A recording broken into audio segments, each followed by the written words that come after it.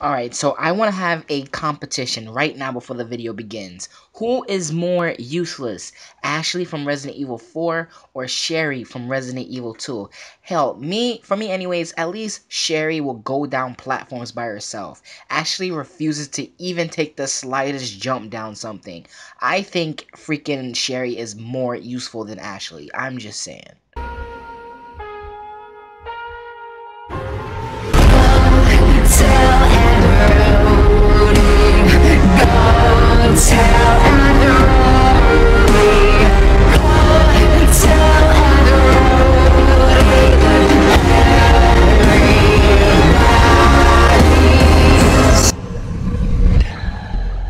What's up guys, in today's Resident Evil 2 remake video, I want to talk about three amazing soundtracks that should stay and remain untouched when Resident Evil 2 remake comes out. Now these are probably the most iconic and most memorable uh, sounds from the Resident Evil 2 original soundtracks. So let's just get right into the first one. This first one is called The Third Malformation of G. Here is a listen of it.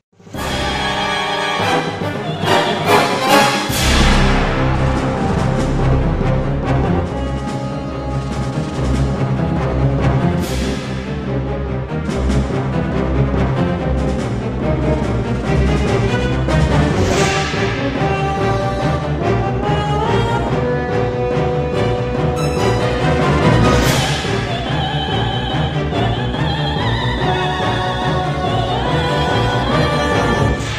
I think one thing that separates Resident Evil 2 from other games in the 90s is the fact that, yo, this soundtrack is absolutely phenomenal. You know, the fact that they put opera music in here makes it more joyful than ever. It's one of my favorite soundtracks in the entire game, honestly. Now, this next one is instantly noticed by, I think, almost every single person who's ever played Resident Evil 2. Regardless if you're actually listening to it consciously or not, you know this tune this is the Save Room song. Now, this is probably the top five, um, at least, of my favorite Save Room music in all of the Resident Evil games. If you don't remember it, take a listen now.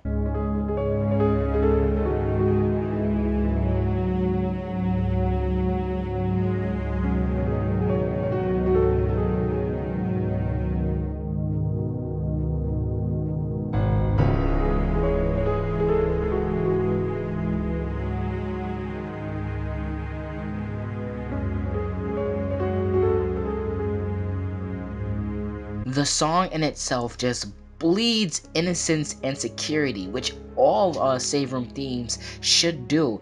And the fact that, you know, so many times I'm like dying, I'm in danger, I'm limping everywhere, and then I get into this room, I'm instantly reminded of a safe haven, and Jesus Christ, I used to suck in Resident Evil 2 back in the day, now that I actually say this.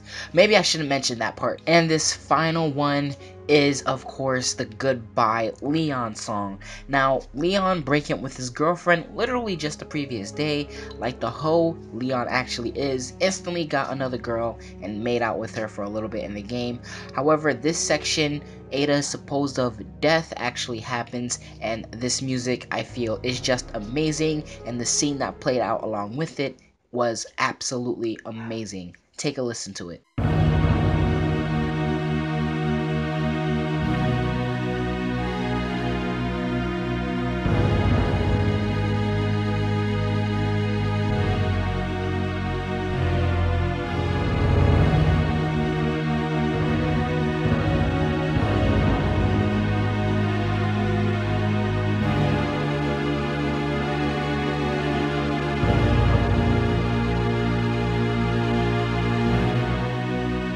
Now, those are my top 3 tracks I feel should remain unchanged when Resident Evil 2 Remake finally comes around. What do you guys think about Resident Evil 2 Remake's OST? And what are your favorite tracks from Resident Evil 2?